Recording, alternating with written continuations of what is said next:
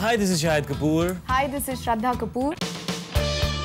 There were those moments of uh, intimidation and there were moments of uh, a lot of nervousness and but it was also coupled up with Oh, so you were not actually feeling cold. You were nervous when you used to come on set like that. yeah